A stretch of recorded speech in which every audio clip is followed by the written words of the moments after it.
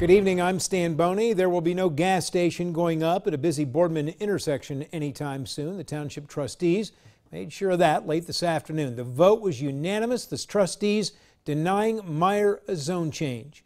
Now, the parcels of land in question were at the intersection of Lockwood Boulevard and Tippecanoe Road. Meijer wanted to build a gas station across from its super center currently under construction. But the trustees decided a gas station was not compatible with the nearby homes telling Meijer, no. Boardman's Carol Markovich this evening stood outside her 125 year old farmhouse on Tippecanoe Road and talked about the trustees' decision to deny Meijer a zone change to build a gas station. Needless to say, I am elated. I mean, over the moon. Markovich showed me her tree line, beyond which, at Tippecanoe and Lockwood Boulevard, Meijer wanted to build a gas station. Come winter, with the leaves down, she'd have looked right into it. And I think everyone was not opposed to Meijer's having a gas station.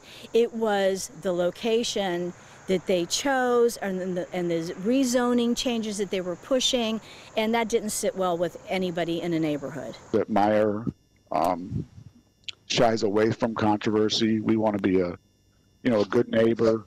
In an online meeting this afternoon, Meijer's Chris Jones reiterated how Meijer planned to buy additional parcels further north, creating a park like buffer setting between the store and additional housing.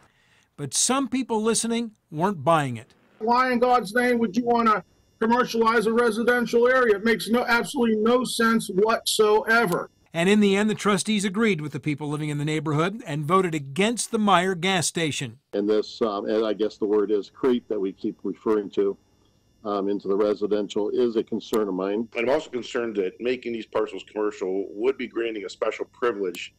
Uh, the impetus for the rezone is due to the proximity to the main store. Trustee Tom Costello referred to Boardman's land use map. Changing to zoning to commercial would be changing the parcels to a more intense use, which isn't what we had planned for when that plan was put together, and that is of concern to me. Now, the reason Meijer cannot build a gas station on the same land where its store is located is because of a deed restriction 30 years ago that forbids gas stations on the property.